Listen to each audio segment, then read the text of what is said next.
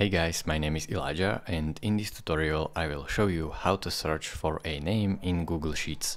So this is actually pretty simple. First thing you will have to do is to use a shortcut Command F or Control F if you are on Windows.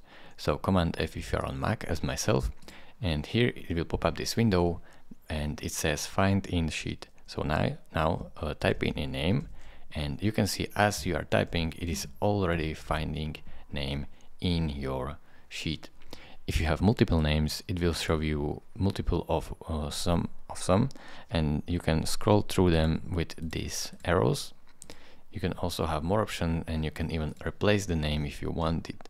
So you can replace every Michael with John, and press done. So thank you very much for watching. If this video was helpful to you, consider subscribing and liking this video, and I will see you in the next tutorial. Bye bye.